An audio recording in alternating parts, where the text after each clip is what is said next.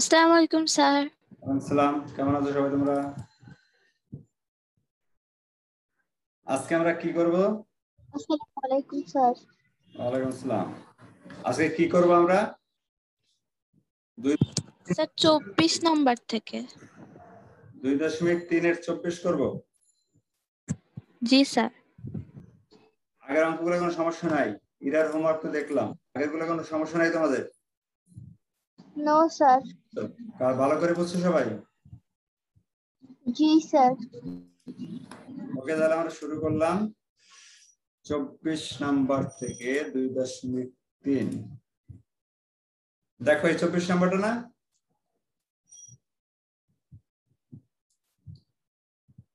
আমার বইয়ের সাথে মিলতেছে? জি স্যার একটি ট্রেন তিনশো মিটার দীর্ঘ একটি সেতু অতিক্রম করবে। ট্রেনটি গতিবেগ ঘন্টায় তিরিশ কিলোমিটার হলে সেতুটি অতিক্রম করতে ট্রেনটি কত সময় লাগবে? এটা আমাদের পারার কথা ছিল। ট্রেন নিয়ে আগের যেদিন কথা বললাম, অনেক বক বক করেছি। এটা তো পারার কথা। আশা করি খুব সহজেই বুঝতে পারবা। আমি আলোচনা করতেছি, তোমরা খেয়াল করো। কোশ্চেনটা বুঝতে পেরেছ?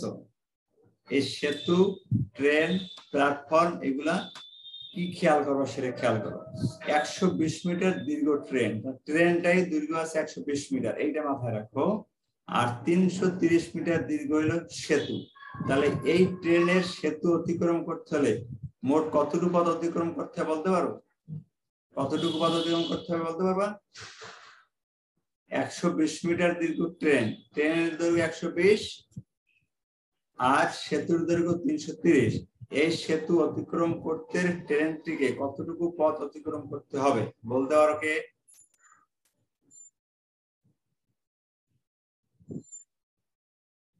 বুঝলেন আমার কথা? স্যার চারশো পঞ্চাশ মিটার। জি এই দুইটার যোগফল। ট্রেনের দৈর্ঘ্য আর সেতুর দৈর্ঘ্য জুড়ে যোগ করতে হবে। এই দুইটার যোগফল এইটা চারশো পঞ্চাশ হয়। এনএসি আছে আমরা আসব সেখানে। আগে তোমাদের আইকিউটা আমি একটু ঝালাই করে নিলাম। কারণ আমরা আগেই শিখেছি ট্রেন যদি কোনো সেতু অতিক্রম করে তাহলে সেতুর দৈর্ঘ্য অতিক্রম করতে হবে সাথে ট্রেনের দৈর্ঘ্য অতিক্রম করতে হবে। না হলে ড্রাইভার তোমার মাঝপথে নাইমে নাইমে চলে যাবে তুমি সেতুর মধ্যে বসে থাকবে। মনে আছে না আগের এক্সাম্পলগুলা? জি স্যার। হ্যাঁ। তাহলে এখানে দুইটা যোগ করতে হবে। এই যে এই যে যোগ করা তুমি যদি ধরতে পারো, তোমার অঙ্কের অর্ধেক করা শেষ হয়ে গেল। এই জন্য আমি তোমাকে এখানে কোশ্চেনটা করে ফেলছি। ক্লিয়ার এত সবাই? এইবার আসলে ট্রেনটির গতিবেগ। ঘন্টায় তিরিশ কিলোমিটার, ঘন্টায় তিরিশ কিলোমিটার। দুইটা জিনিস খেয়াল করবা। ঘন্টায় তিরিশ কিলোমিটার। সেতু অতিক্রম করতে ট্রেনটা কিন্তু ঘণ্টা লাগবে না। সেতু হলে মাত্র তিনশো তিরিশ মিটার। এটা অতিক্রম করতে কয়েকটা সেকেন্ড লাগবে ট্রেনটার তার মানে এই ঘন্টাটাকে আমাদের সেকেন্ড করে নিতে হবে। তাহলে আর একটা ধাপ। এরপর আছে তিরিশ কিলোমিটার। আমাদের ট্রেনের দৈর্ঘ্য, সেতুর দৈর্ঘ্য আছে মিটারে তাহলে আমাদের এই পথটাকেও করে নিতে হবে মিটারে ব্যাস, এই আমাদের মোটামুটি হাতিয়ার। যা যা লাগতো, সেগুলা আমরা আলোচনা করে ফেললাম। এই যে এক কিলোমিটার সমান এক হাজার মিটার তার আমাদের তিরিশ কিলোমিটার যে গতিবেগ, সেটা মানে কত? তিরিশ হাজার মিটার। তাহলে প্রথমে আমরা গতিবেগটাকে মিটারে করে নিলাম। বুঝতে পারছ কেন মিটারে করলাম? কারণ আমাদের ট্রেনের দৈর্ঘ্য সেতুর দৈর্ঘ্য সব মিটারে আছে। ঠিক আছে? এবং এটা ছোট একটা একক এই জন্য এখানে কিলোমিটার নিলে হবে না কারণ জায়গাটা অনেক ছোট এটা মিটারে পরিমাপ করতে হবে। বুঝতে পারছ? পরবর্তী কাজ যেটা বললাম যেখানে ঘন্টাটাকে আমরা সেকেন্ডে করব? কারণ এই সেতুটা অতিক্রম করতে মাত্র কয়েক সেকেন্ড লাগবে ট্রেনটা। এই জন্য এই এক ঘণ্টা সমান ষাট মিনিট আর ষাট মিনিট সমান ষাট গুণ ষাট ছত্রিশশো সেকেন্ড। এতটুকু ক্লিয়ার ইনশাল্লাহ? এই এইবারে ট্রেনটা দৈর্ঘ্য একশো বিশ এবং সেতুর দৈর্ঘ্য তিনশো তিরিশ তাহলে সেতু অতিক্রম করতে হলে ট্রেনটির অতিক্রম করতে হবে। ট্রেনের দৈর্ঘ্য যোগ সেতুর দৈর্ঘ্য সমান সাড়ে চারশো, যেটা শুরুতেই তোমাদের কাছ থেকে শুনে নিয়েছিলাম। এইবারে এই যে জিনিসটা এত সময় ব্যাখ্যা করা এতখানি এই জায়গাটা এখন ঐকিক নিয়মে সাজাবো। এখানে সব জিনিস আছে, ঠিক আছে? আমরা এখন এখান থেকে কি জানি? এখান থেকে জানি যে এই ত্রিশ হাজার মিটার, ত্রিশ হাজার মিটার পথ অতিক্রম করতে ট্রেনটার সময় লাগে ছত্রিশ সেকেন্ড। বুঝতে পারছ? ত্রিশ হাজার মিটার পথ অতিক্রম করতে ট্রেনটার সময় লাগে ছত্রিশ সেকেন্ড। তাহলে সাড়ে চারশো মিটার, সাড়ে চারশো মিটার অতিক্রম করতে কত সেকেন্ড লাগবে সেটা আমরা বের করব। ঐকিক নিয়ম, ত্রিশ হাজার মিটার অতিক্রম করতে লাগে ছত্রিশ সেকেন্ড, এক মিটারে আর সাড়ে চারশো মিটার, চুয়ান্ন সেকেন্ড। তাহলে সেতুটা অতিক্রম করতে ট্রেনটির সময় লাগবে চুয়ান্ন সেকেন্ড। ক্লিয়ার সবাই? জি, স্যার। ওকে নেক্সট অঙ্কে যাই। দেখো কত সহজ অঙ্ক।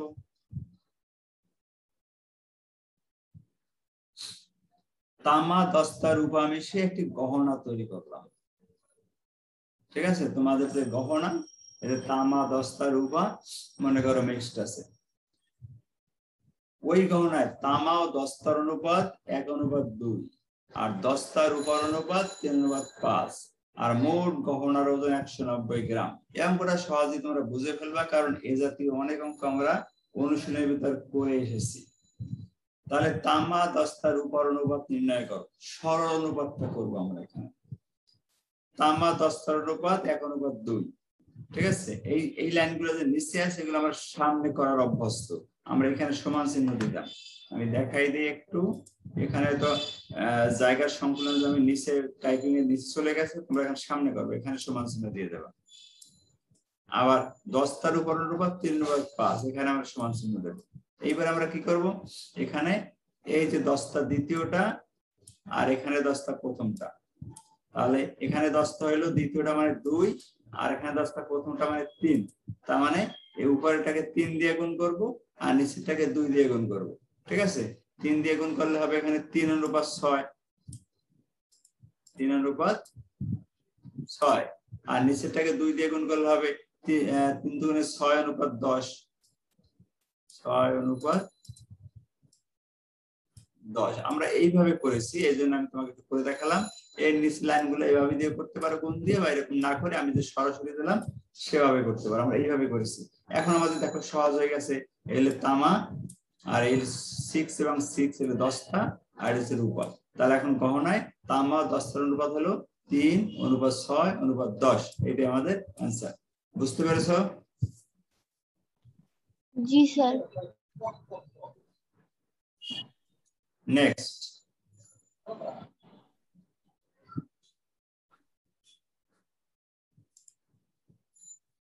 বলা হয়েছে গহনায় তামা দস্তা রূপার ওজন। আলাদা আলাদা ভাবে নির্ণয় করবে। একদম সহজ এই লাইনটা নিতে হবে ক নম্বর থেকে। কহাতে পাই গহনায় তামা দস্তার উপর অনুপাত, তিন অনুপাত, ছয় অনুপাত, দশ, অনুপাতের রাশি যোগ করব।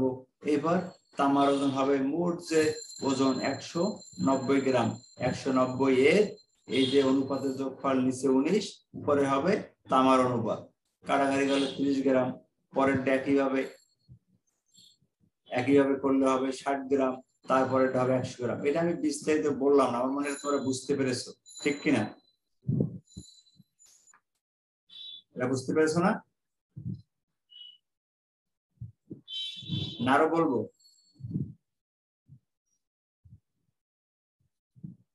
তার মানে বুঝতে পারো নাই? জি স্যার বুঝতে পারছি। কথা বলো না কেন তাহলে। এটা একদম ইজি আগের অঙ্ক করেছি এই জন্য এটা বেশি বলতে চাচ্ছিলাম না। এইবার আসি আমরা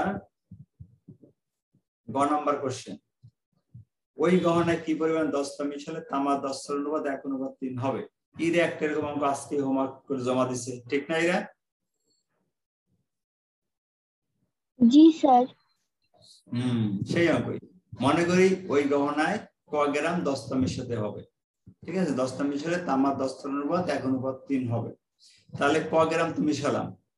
ঠিক আছে? আর আগে কতটুকু ছিল? আগে দশটা ছিল কতটুকু? মনে আছে? এই করে বের করেছি, ষাট গ্রাম। আর এখন মিশালাম ক গ্রাম? তাহলে এখন মোট হবে কত? ক যোগ ষাট। আর তামা কতটুকু আছে? তামা আছে ত্রিশ গ্রাম। এই যে ত্রিশ। তাহলে তিরিশ অনুপাত ক যোগ ষাট। ঠিক আছে? এখানে একটা কাজ করো তোমরা। এখানে একটা ব্র্যাকেট ইউজ করবা।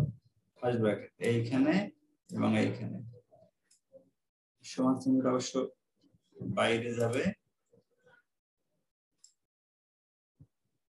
এইভাবে। ইরাদাটা বুঝতে পারছে আহ প্রমি বুঝছে কিনা? এটা অলরেডি ইয়েস স্যার ওকে তাহলে আমার টেনশন নাই। তাহলে তিরিশ বাই এটা ভগ্নাংশ লিখব ষাট যোগ ক বাই এক বাই তিন। এবার আর গুণ করব। এক দিয়ে এটা গুণ করলে হবে ক যোগ ষাট আর তিন তিরিশে নব্বই। এভাবে কয়ের মান বের করে ফেলব তিরিশ। তার মানে ওই গহনায় তিরিশ গ্রাম তিরিশ গ্রাম দশটা মিশালে তামা দশটার অনুপাত এক অনুপাত তিন হবে। ক্লিয়ার সবাই? জি স্যার।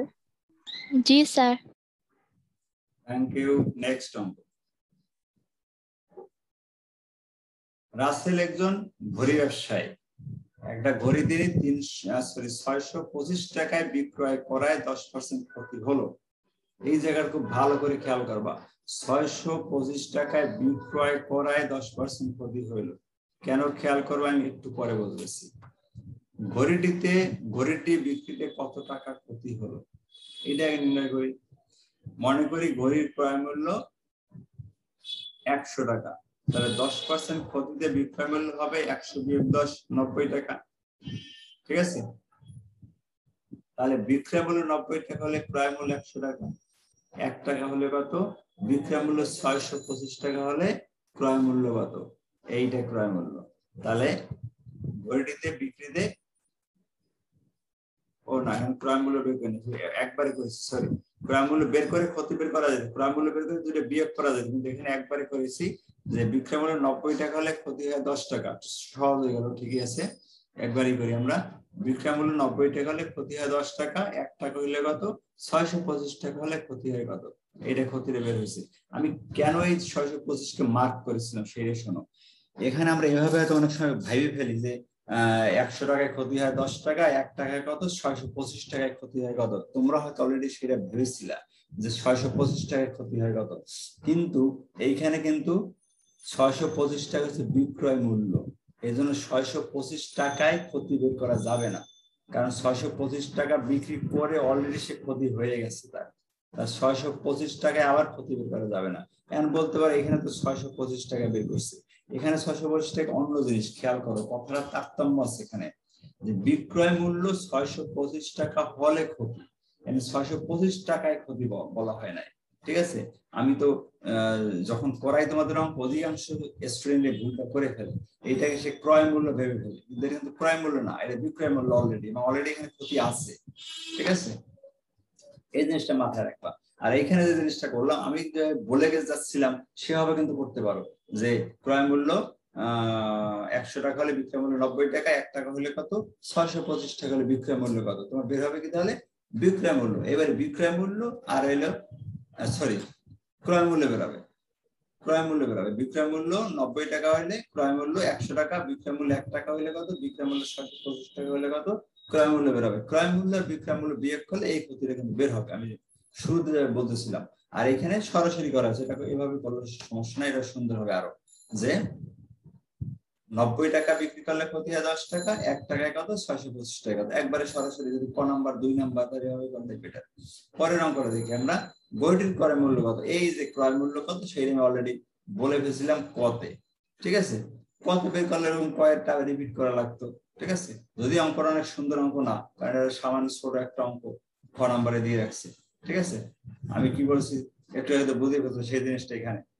আচ্ছা ক দেবে ঘড়িটার? আরও একটা যেহেতু আমরা এখানে ক্ষতি পেয়ে গেছি, আর একটা সহজ পদ্ধতিতে বের করা যায়। ক্ষতির সাথে তুমি যদি বিক্রয় মূল্য যোগ করো, বিক্রয় মূল্য কই? ছয়শো পঁচিশ টাকা না? বিক্রয় মূল্য ছয়শো পঁচিশ টাকা।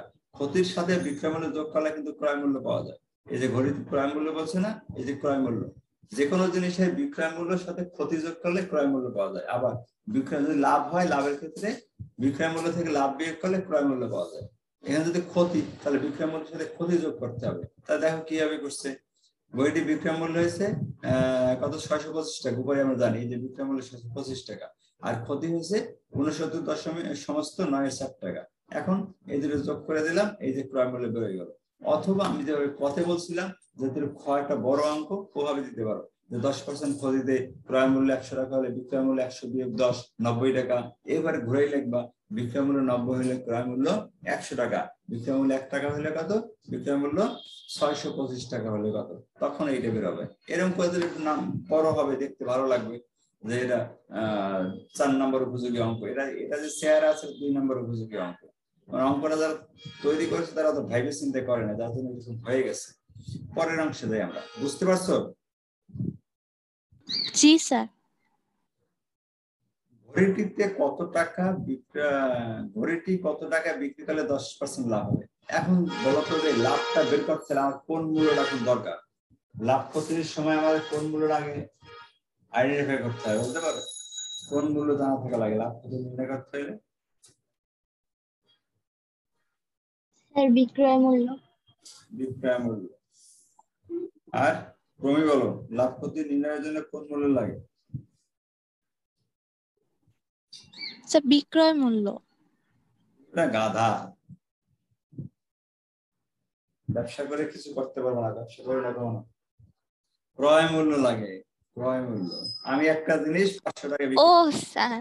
লাভ হলে না ক্ষতি হলে বুঝবা কেমন তুমি? তুমি ক্রয় মূল্য আমার জানো না। লাভ ক্ষতি নির্ভর করে ক্রয় ক্রয় মূল্যের উপর। হ্যাঁ এটা পরীক্ষা আসবে। এটা বুঝছেন? লাভ ক্ষতি নির্ভর করে ক্রয় মূল্যের উপর। তাহলে আমার এখানে ক্রয় মূল্যটা জানা লাগবে। দশ পার্সেন্ট যে সরি কি দশ পার্সেন্ট লাভ? তাহলে ক্রয় মূল্য ক্রয় মূল্য কই আছে? খ নম্বরে আছে ক্রয় মূল্য। এই যে ঘড়িটির ক্রয় মূল্য। ঠিক আছে? এইটা আমরা এখানে নিয়ে নেব। এই যে ঘড়িটির ক্রয় মূল্য কই কই? এই যে খ ভাই, ঘড়ির ক্রয় মূল্য আর দশ পার্সেন্ট লাভে যদি আমরা ঘড়ির ক্রয় মূল্য একশো ধরি, বিক্রয় মূল্য হবে একশো যোগ দশ। এখন ওই দিক তুমি সাজিয়ে ফেলাই। ক্রয় মূল্য একশো টাকা হলে বিক্রয় মূল্য একশো দশ, এক টাকা হলে কত? এই যে নয়ের ছয় হাজার দুশো পঞ্চাশ টাকা হলে কত? ওই করলে বেড়ে যাবে? সাতশো তেষট্টি সমস্ত আটের নয় টাকা বিক্রয় করলে তার দশ পার্সেন্ট লাভ হবে। সমস্যা? আচ্ছা ওকে নেক্সট জসিম সাহেব একজন কন্ট্রাক্টর দেখি জসিম সাহেব কি করেছেন? তিনি দুই কিলোমিটার রাস্তা ত্রিশ দিনে দুই লক্ষ টাকা মেরামত করার জন্য কাজ পেলেন। দুই কিলোমিটার রাস্তা মেরামত করবেন, ত্রিশ দিনের মধ্যে করে দিতে হবে, টাকা পাবেন দুই লক্ষ টাকা। তিনি এই কাজটি করার জন্য বিশ জন শ্রমিক নিয়োগ করলেন। ভালো কথা। কিন্তু বারো দিন পর খারাপ আবহাওয়ার বন্যা হয়েছে এই জন্য কি করছে? চার দিন কাজ বন্ধ রাখা লাগছে। বাকি কাজ শেষ করতে হলে তার কি করা লাগবে? অতিরিক্ত শ্রমিক লাগতে হবে নাকি? কাজ শেষ করে দেখা গেল তার দুই লাখ পঁচিশ হাজার টাকা খরচ হলো আচ্ছা।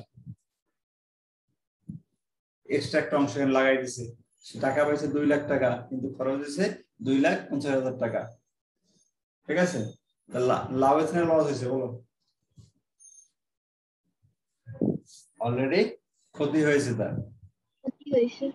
দুই লাখ পঁচিশ হাজার টাকা খরচ হয়েছে। কারণ ওই যে পরে অতিরিক্ত শ্রম লাগছে। দেখি কোশ্চেনগুলো কি? বারো দিনের রাস্তার শতকরা কত অংশ সম্পন্ন হয়েছিল তাহলে বারো দিন কাজ করেছে বারো দিন কাজ। বারো দিনের রাস্তার কত অংশ হয়েছিল সেটা আগে বের করব। তাহলে আমরা দেখি ত্রিশ দিনে তৈরি করতে পারে পুরো রাস্তা, একটা রাস্তা। একদিনে পারে কতটুকু? বারো দিনে পারে কতটুকু? দেখলাম বারো দিনে পারে পাঁচের দুই অংশ। এইবারে পাঁচের দুই অংশকে শতকরা প্রকাশ। সহজ নিয়ম শিখেছিলাম আমি। আমি সবসময় শতকরা ভাবে শিখাই। যে অংশটা থাকবে তার সাথে গুণ একশো, একটা ব্র্যাকেট দিয়ে পার্সেন্ট আর ব্র্যাকেট ছাড়া দিলে হয়। পার্সেন্টেজ দিয়ে দেওয়া। শতকরা হয়ে গেল। কাটাকাটি করলে চল্লিশ পার্সেন্ট বারো দিনের রাস্তায় চল্লিশ পার্সেন্ট সম্পন্ন হয়েছিল। কোনো সমস্যা আছে? নির্দিষ্ট সময় বাকি কাজ করতে অতিরিক্ত লোক কত লাগবে? এটা আমাদের আগে বইয়ের একটা অঙ্ক আছে এরকম। চার দিন কাজ বন্ধ রাখার পর সময় বাকি ছিল কত? মোট ত্রিশ দিন সেখান থেকে বারো দিন করছে চার দিন বন্ধ রাখছে। বাদ দিলে থাকে চোদ্দ দিন আমাদের হাতে আছে। ওকে কাজ বাকি আছে, ষাট পার্সেন্ট ওই যে চল্লিশ পার্সেন্ট উপরে করে আসছি, একশো বিয়োগ চল্লিশ, ষাট পার্সেন্ট কাজ বাকি আছে। তাহলে চল্লিশ পার্সেন্ট রাস্তা বারো দিনে তৈরি করতে পারে বিশ জন শ্রমিক। এক পার্সেন্ট রাস্তা একদিনে তৈরি করতে পারে, এইটা কীভাবে হলো?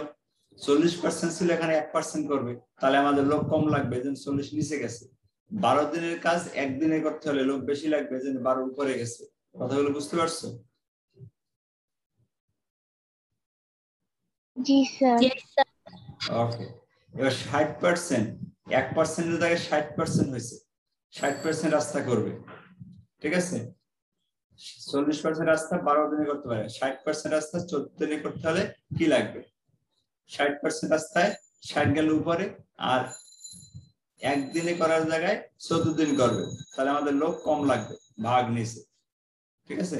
আর এক পার্সেন্ট জায়গায় ষাট পার্সেন্ট রাস্তা বেশি এজন্য উপরে যাবে। এবার কাটাকারি করে গেল।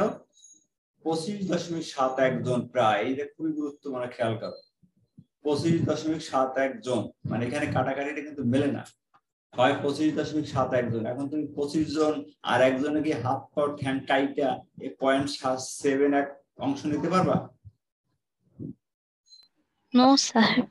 তাহলে ছাব্বিশ জন নিতে হবে। তুমি একটু হিসাব করে যাও পুরো ছাব্বিশ জন লাগে না একটু কম লাগে। চিন্তা করলে একজন নেই তাহলে হাত ভাঙ্গা পা ভাঙ্গা সেরকম একজন নেই। ঠিক না? কম পারবা তা তোমার কাজ হবে? হবে না। ঠিক আছে? পুরো ছাব্বিশ জনে নেওয়া লাগবে। ঠিক আছে? বুঝতে পারছ? এখন তোমার শ্রমিক শ্রমিক আগে নিয়োগ দেওয়া ছিল কতজন? শ্রমিক নিয়োগ দেওয়া ছিল বিশ জন। এখন দেখলাম শ্রমিক লাগে ছাব্বিশ জন। তাহলে অতিরিক্ত লেগেছিল ছয় জন। ক্লিয়ার সবাই? জি, স্যার। গ নাম্বার দেখি আমরা। কাজটি সম্পন্ন করায় তার শতকরা কত ক্ষতি হলো? কত ক্ষতি হলো সেটা? ওখানে আরও একটা আছে, গ আছে। অতিরিক্ত শ্রমিক সংখ্যা প্রদত্ত শ্রমিক সংখ্যা শতকরা কত? সহজ একদম। অতিরিক্ত শ্রমিক কত? ছয় জন। আর প্রদত্ত শ্রমিক বিশ জন।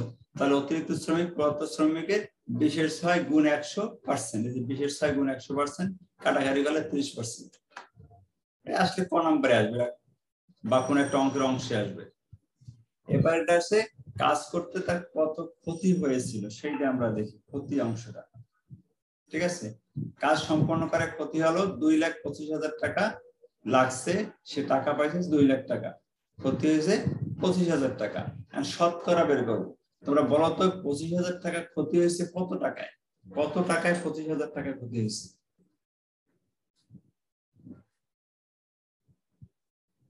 দুই লাখ টাকায় না দুই লাখ পঁচিশ হাজার টাকায়?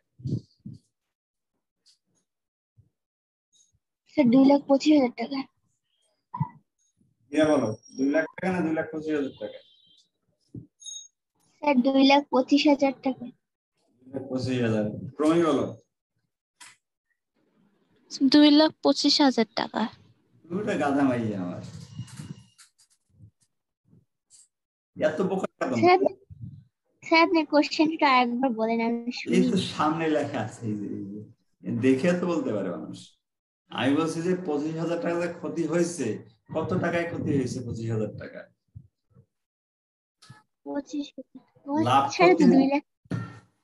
মূল মূলধনটা খেয়াল করবা। যেমন আমরা বলি লাভ ক্ষতি নির্ভর করে ক্রয় মূল্যের উপর। ক্রয় মূল্যের মূলধন তার যে টাকা পয়সা ছিল সেটা হলো মূলধন ক্রয় মূল্য। আর এখানেও তার মূলধন ছিল দুই লাখ টাকা। তাহলে ক্ষতি হয় সবসময় মূলধনের উপর, ক্রয় মূল্যের উপর। ঠিক আছে? দুই লাখ পঁচিশ হাজার তার কাছে ছিল না ধার করে আনা লাগছে তার। তাই তার উপর ক্ষতি হবে কীভাবে? ক্ষতি হবে তার মূল টাকায়।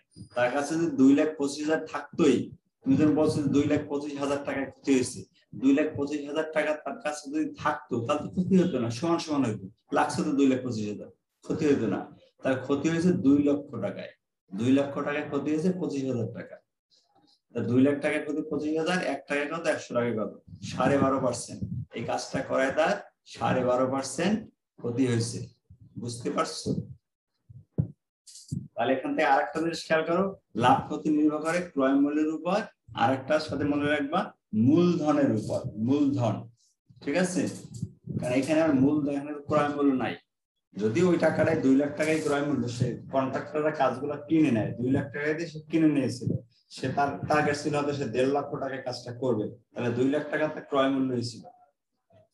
সে দেড় লাখ টাকা করতে পারলে পঞ্চাশ হাজার লাভ থাকতো। এখন দেখা গেল যে খারাপ আবহাওয়ার জন্য কাজটা বন্ধ ছিল, কিন্তু যথাসময় তো কাজ উঠাইতে হবে, না জরিমানা হবে। হ্যাঁ করাইতে গিয়ে তা দেখা যায় লস হয়ে গেল, পঁচিশ হাজার টাকা লস হয়ে গেল। কথাটা বুঝতে পারছ সবাই?